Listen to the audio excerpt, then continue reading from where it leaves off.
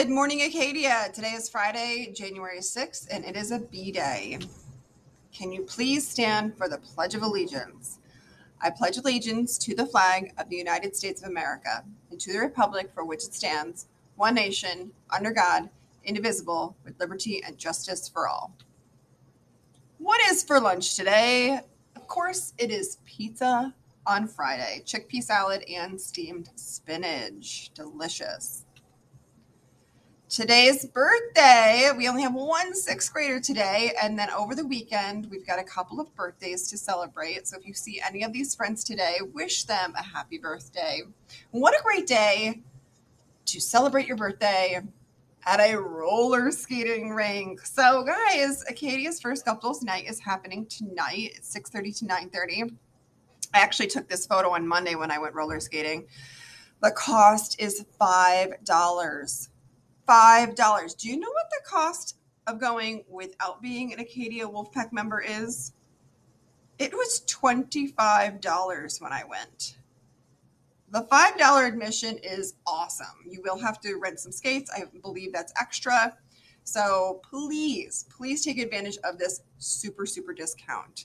Uh, you got to purchase tickets at lunch only. Uh, families can attend, parents can come. It's really, really great. Tickets can be sold uh, during lunch this week's.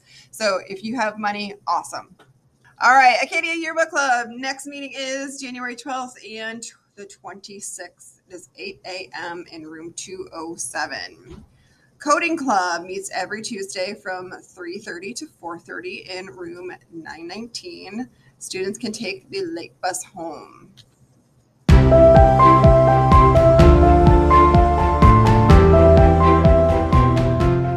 Hi guys, so today I'm going to be showing you guys some tips and tricks of beginners on how to skate and uh, just some a couple of questions that I frequently get asked uh, about Guptill's. So uh, if you don't know, my grand my family, my grandparents own Guptill's, so uh, I'm here to help you out with some skating tips and tricks if you are new to skating. So let's get right onto it.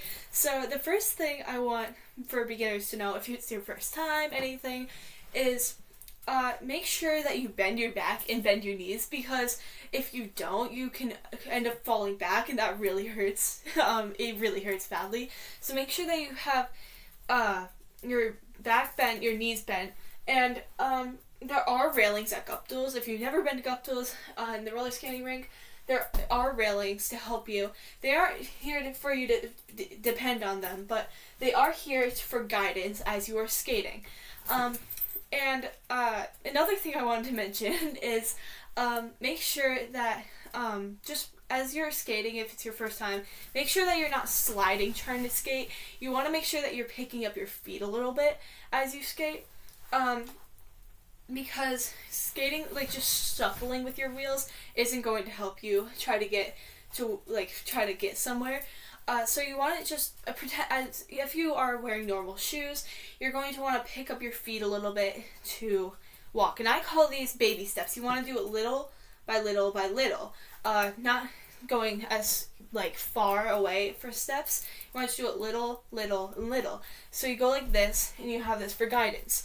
Um, so that those are some beginner tips and tricks. But another thing I want to mention is clothing. So for clothing, um, it gets very hot at Guptill's if you've never been. Even in the winter, it can get very hot. So underneath your coats and stuff, because it is winter, um, I want so make sure that you wear something short sleeves, something breathable to wear.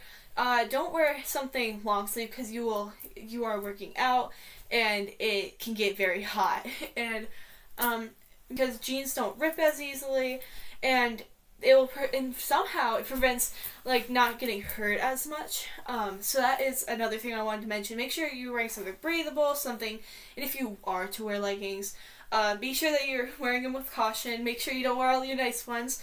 Um, just try to find something that you know if it's okay. It's okay if it gets ripped if it's okay if something happens to it because that can happen sometimes um, but yeah that's kind of it for clothing um, but another thing I wanted to do is a little bit of a Q&A. So, some questions I get asked frequently. So, uh, one of them I get asked all the time is, what kind of food do they have there? Um, so, we, well, we have fries, we have fried dough, uh, we have pretzels, pizza, we have all of that stuff, and there is a menu on the top of the snack bar so you can see whatever you want to get. And for drinks, we have sodas, we have water, we have slushies, a whole bunch of different flavors. I think about six flavors. Uh, my personal favorite is either lemon lime or grape. Um, strawberry comes in for a close third, but yes, yeah, so that's one of them. Another one I wanted to say is, well, uh, where do you put your stuff? Well, there is lockers that you can get for 25 cents. Uh, and if not, you can tuck it under your your belongings underneath one of the benches, like one of the chairs. Uh, but if you are afraid of your stuff, like just being out in the open, I definitely recommend a locker. It's only a quarter um, per locker. So there's that. And then another one I get asked is for if you aren't going on a school night, uh, how much is it for skating? So if you don't have own your own roller roller skates, it is uh, five dollars for rental, and uh, unfortunately, we do not rent out rollerblades, but we do rent out roller skates. If you, but you are free.